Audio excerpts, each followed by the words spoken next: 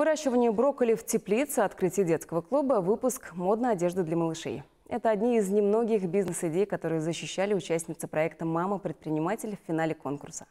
Напомню, программа создана при поддержке Центра «Мой бизнес», Республиканского бизнес-инкубатора и корпорации МСП.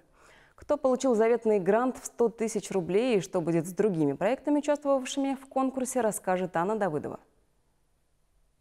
Пять дней они изучали основы предпринимательства и эффективного управления бизнесом. 40 образовательных часов с бизнес-тренерами, экспертами и представителями региональных структур малого бизнеса. И вот он, долгожданный финал проекта «Мама-предприниматель».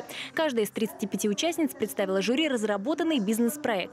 Маргарита Антонова, например, хочет развивать свой бренд детской одежды. Рукоделием она увлеклась еще с детства, рассказывает конкурсантка. Сначала придумывала и шила платье для кукол, потом для себя и детей, а теперь вместе с помощниками создает оригинальные модели модели на заказ. Мечтает выйти на большую российскую арену. Нужно масштабироваться, расширяться, нужны больше средств финансирования, поэтому этот проект как перспектива для меня в этом плане. И знаний тоже не хватает, действительно за знаниями тоже пришла.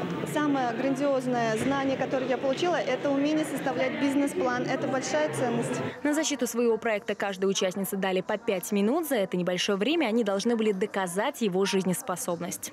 Точкой отсчета, точкой такой э, старта является как раз, мне кажется, для многих будет будет являться такой проект. Потому что они попадают в определенную среду, бизнес-среду, и э, получают знания, и они могут сразу же их на практике реализовать, то есть защищая этот проект. Это очень важно. Такие локальные проекты, которые поддерживают маму такой, наверное, сложный период, это декретный отпуск, когда она находится в изоляции. Наверное, это очень здорово и приятно, что э, именно этот период обратили организаторы и взяли его для работы, для того, чтобы активизировать в этот момент творческую деятельность женщин. Грант на реализацию своей бизнес-идеи получит лишь одна из участниц, но организаторы уверяют, проигравших не будет. Каждый из конкурсных проектов будет взят на инкубацию.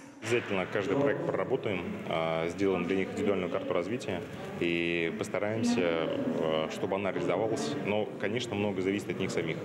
А, если на практике не готовы ежедневно уделять внимание своему проекту, то, несомненно, успех шансы на успех они повышаются. Из 35 участниц лучшие признали Олесю Кузьмину с ее проектом шоколадной мастерской «Лавли Берри». Девушка получила заветный грант в 100 тысяч рублей. На эти средства она планирует закупить необходимое оборудование для своей студии. Анна Давыдова, Семен Антонов, Вести, Чувашия.